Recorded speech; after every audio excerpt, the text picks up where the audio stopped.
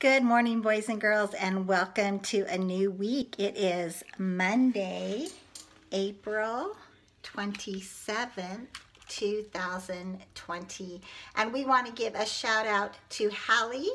Her birthday was yesterday, April 26th. So, congratulations on your birthday. Hallie is seven years old. Such an exciting day. This week, we have some fun things to do. If your beans sprouted, I hope that you had a chance to plant them in some dirt. My beans did not do good. But Brooklyn's beans did really great. And so she has planted hers in dirt and we will continue watching those through this week. Because this week, our book is called Thunderground Underground.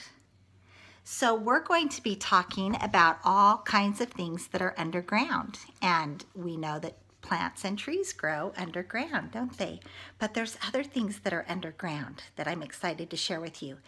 This is a book of poetry. So it's not a story.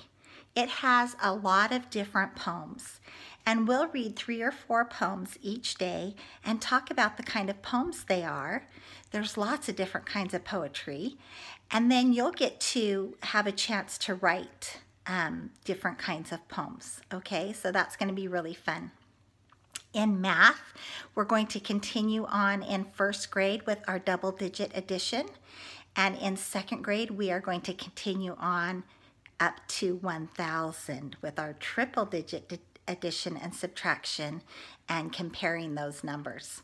So I'm excited to get started on this week. I have also, um, I have a fun craft and cooking class for Friday, but there are items that your parents might need to get ahead of time. And so I've put that list on our module for today. And so that will be really fun if they have a chance to be to get some of those items or maybe they already have them at home. But I'm excited for this week and again happy birthday Hallie. I wish we could be together and we will see you soon. Bye.